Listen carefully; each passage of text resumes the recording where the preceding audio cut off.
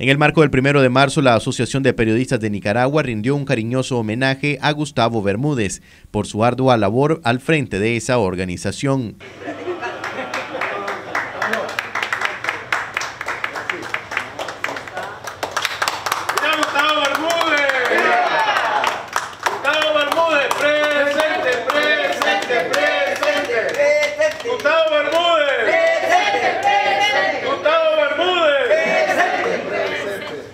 La libertad de expresión,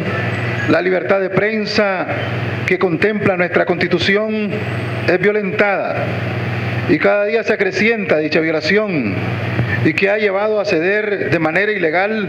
los edificios de medios de comunicación como 100% Noticias, Confidencial esta semana, esta noche, lo que se suma a los juicios a periodistas críticos del gobierno, a los robos que se les ha hecho de sus pertenencias y de los equipos que se utilizan para realizar su labor informativa, además de los periodistas que se han ido al exilio, los periodistas encarcelados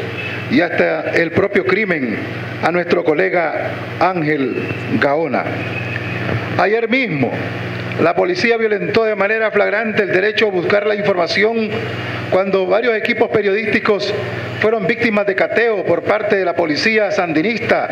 que los bajó del vehículo para tomarles fotos, revisar equipos y requisó la libreta de notas de una de las reporteras. Familiares del colega víctima de la pandemia de COVID-19 agradecieron el gesto para con el periodista y recordaron el compromiso de Bermúdez para con la APN. Gustavo fue la voz de los sin voz detrás de ese micrófono. Y yo creo que por eso y por muchas cosas más, creo que se ha ganado este homenaje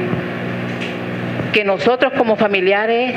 lo agradecemos de corazón. Marcos Medina, Noticias 12.